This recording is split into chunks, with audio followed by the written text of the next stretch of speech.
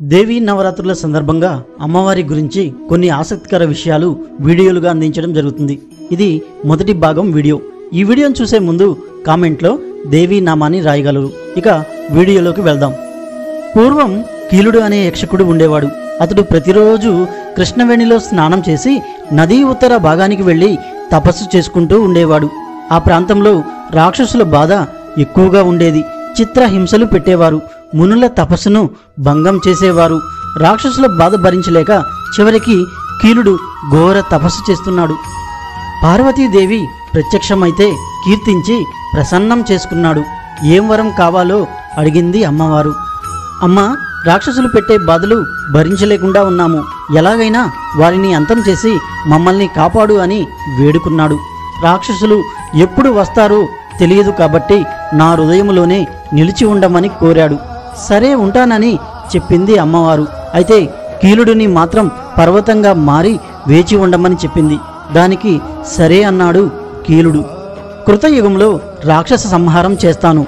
ఆ తర్వాత నీ పర్వతం మీద నిలిచి ఉంటాను అని చెప్పింది అమ్మవారు. కీలుడు అమ్మవారి కోసం కీలాద్రిగా మారి ఎదురు చూస్తూ ఉన్నాడు. రాక్షసుల సంహారం అనంతరం అమ్మవారు కీలాద్రి పర్వతం మీద ఇచ్చిన మాట ప్రకారం వెలిసింది. అయితే అమ్మవారిని సేవించడానికి ఇంద్రాది దేవతలు ప్రతిరోజు కీలాద్రికి వస్తూ ఉండేవారు. అందువలన ఇంద్రకీలాద్రి అని పిలువబడింది. మహిషాసుర సంహారం. పూర్వకాలంలో ధనువు అనేవాడు ఉండేవాడు. అతనికి ఇద్దరు కుమారులు రంభుడు కరంబుడు ఈ ఇద్దరు ఈశ్వరుని గురించి ఘోర తపస్సు చేస్తూ ఉన్నారు. కరంబుడు నీటిలో మునిగి తపస్సు చేస్తూ ఉన్నాడు. రంభుడు చెట్టుపైన కూర్చొని తపస్సు చేస్తూ ఉన్నాడు. ఇంద్రుడేమో ముసలి రూపంలో వచ్చి కరంబుడిని సంహరించాడు. సోదరుడి మృతికి హతాశుడైన రంభుడు తన తల నరుక్కుని పరమేశ్వరుడికి అర్పించాలి అనుకున్నాడు. అప్పుడు శంకరుడు ప్రత్యక్షమయ్యి ఏం వరం కావాలో కోరుకోమని అడిగాడు. శంకర నాకు పుత్ర సంతానం లేదు. కాబట్టి నువ్వే నాకు మూడు జన్మలలో పుత్రునిగా జన్మించాలి అని కోరాడు. అంతేకాదు ఆ బిడ్డ వేద వేదాంగ విధుడు కామరూపుడు దీర్ఘాయుషు మంతుడు ముల్లోకాలను జయించేవాడు అయి ఉండాలి అన్నాడు. దీనికి తదాస్తు అన్నాడు పరమేశ్వరుడు. రాక్షస స్వభావుడైన రంభుడు ఇంటికి తరలిపోతున్న సమయంలో ఒక మహిషిని చూసి దానితో బలవంతంగా కాపురం సాగించాడు. రంభుడికి ఇచ్చిన మాట ప్రకారం శివుడు రుద్రుని అంశతో ఆమె గర్భంలో ప్రవేశించాడు. నెలలు నిండిన తరువాత బిడ్డను కంటుంది. అతడే మహిషాసురుడు. అతను మహాబలవంతుడు. తన పినతండ్రి చావుకు కారణమైన ఇంద్రుడిని జయించి స్వర్గాధిపత్యం పొందుతాడు. ముల్లోకాలను గడగడలాడిస్తాడు. గర్వంతో ఒకసారి మహిషాసురుడు కాచ్యాయన మహర్షి ఆశ్రమానికి వెళతాడు. స్త్రీ రూపం ధరించి మహర్షి శిష్యుడిని బాధిస్తాడు. ఇదంతా చూసిన మహర్షి స్త్రీ చేతిలోనే నీకు చావు ఉంటుంది అని శపిస్తాడు. అయినా మహిషాసురుడు తన బుద్ధిని మార్చుకోక ముల్లోక వాసులందరినీ బాధిస్తూనే ఉంటాడు. అప్పుడు దేవతలంతా కలిసి ఆదిశక్తిని ప్రార్థిస్తారు.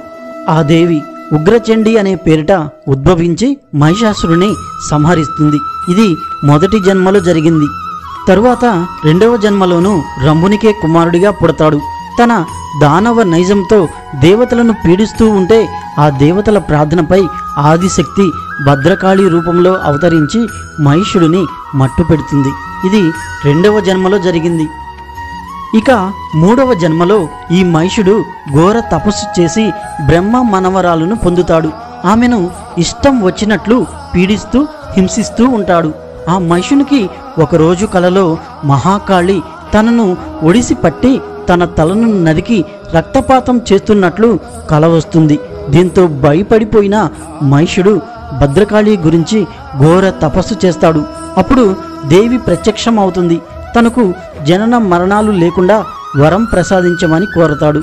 ఒకవేళ మరణం వచ్చినా నీ చేతిలోనే మరణించాలి. యజ్ఞ భాగాలలో చోటివ్వాలి అంటాడు. అప్పుడు అమ్మవారు ఈ విధంగా అంటుంది. ఓ మహిష నువ్వు రుద్రాంశ నందు జన్మించిన వాడవు.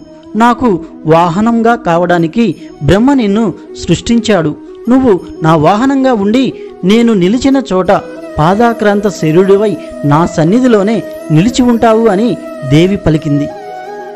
ఆ తరువాత మహిషాసురుడికి మళ్ళీ గతమాయ కప్పడంతో మళ్ళీ అసుర చేష్టలకు పూనుకుంటూ ఉంటాడు. మునులను పీడిస్తూ ఉంటాడు. దేవతల ప్రార్థనపై మరో శక్తి అయిన శ్రీ కనకదుర్గా దేవిగా రూపం ధరించి మహిషాసురుడిని సంహరిస్తుంది. ఇది మూడవ జన్మలో జరిగింది. అర్జునుడి తపస్సు. ఇంద్రకీలాద్రిపై వెలిసింది అమ్మవారు. మహిషాసుర మర్దిని అయిన అమ్మవారు కనక వర్ణంతో వెలిగిపోతున్న కారణంతో కనకదుర్గ అయ్యింది. పాండవ మధ్యముడు అయిన అర్జునుడు అరణ్యవాస సమయంలో తన అన్న ధర్మరాజు ఆజ్ఞ మీద ఇంద్రకీలాద్రికి వచ్చి ఇంద్రుని కొరకు తపస్సు చేస్తున్నాడు. అప్పుడు ఇంద్రుడు ప్రత్యక్షమయ్యి శివమంత్రం ఉపదేశిస్తాడు. పాశుపతాస్త్రం కావాలంటే శివుడిని ప్రార్థించమని వెళ్ళిపోతాడు. అలా అర్జునుడు మరోసారి తపస్సు చేస్తున్నప్పుడు ఒకానొక రోజు అతి భయంకరమైన పెద్ద పంది వచ్చి అర్జునుడి తపస్సుకు భంగం కలిగిస్తుంది. తపోభంగమైన అర్జునుడు దానిని వేటాడతాడు. కానీ అతని బాణాల నుంచి ఆ పంది చాలా చురుకుగా తప్పించుకుంటుంది. ఎట్టకేలకు గురి చూసి దాని మీదకు బాణం వేశాడు. వెంటనే దగ్గరకు వెళ్ళి చూస్తే దానికి రెండు బాణాలు గుచ్చుకొని ఉన్నాయి. అంతలో ఓ కోయిదర వచ్చి ఆ పందిని తీసుకొని వెళ్ళసాగాడు. అప్పుడు అర్జునుడు ఆ పందిని నేను సంహరించాను కాబట్టి అది నాది అన్నాడు. దానికి ఆ కోయిదర నవ్వాడు. దానికి కోపం వచ్చిన అర్జునుడు దీనితో ఎవరు గొప్పో తేల్చుకుందామా అని యుద్ధానికి దిగాడు. అర్జునుడు ఎన్ని బాణాలు వేసినా ఆ కోయిదరను ఏమీ చేయలేకపోయాడు. తన దివ్యాస్త్రాలు అన్నీ వృధా అయిన కారణంగా అర్జునుడు తన విల్లు తీసుకొని ఆ కోయరాజు తల మీద కొట్టబోయాడు. అప్పుడు ఆ కోయరాజు మాయమైపోయాడు. శివుడు ప్రత్యక్షమయ్యాడు. పరమశివుడితో యుద్ధం చేసిన కారణానికి అర్జునుడు సిగ్గుపడి బాధపడ్డాడు. ఆ తర్వాత శివుడిని స్తుతించాడు. దానికి సంతోషించిన శివుడు అర్జునుడికి పాశుపతాస్త్రం ఇచ్చి దానిని అత్యవసర సమయంలో మాత్రమే ఉపయోగించాలి. ముందు నిగ్రహం సాధించిన తర్వాతే ఈ అస్త్రం వాడాలి అని చెబుతాడు. అప్పుడే ఈ అస్త్రాలు లోక కళ్యాణం కొరకు ఉపయోగపడతాయని చెబుతాడు. ఆ తరువాత మాయమైపోతాడు. అర్జునుడికి వరాలు ఇచ్చింది మల్లేశ్వర స్వామి శక్తి అయిన కనకదుర్గ. ఇంద్రకీలాద్రి చేత కీలితం చేయబడ్డాడు కాబట్టి అర్జునికి ఇంద్రకీలుడు అని పేరు కూడా వచ్చింది. అర్జునుడికి ఉన్న విజయనామం వల్ల ఈ ప్రాంతానికి విజయపురి విజయవాటిక విజయవాడ అనే పేర్లు వచ్చాయి.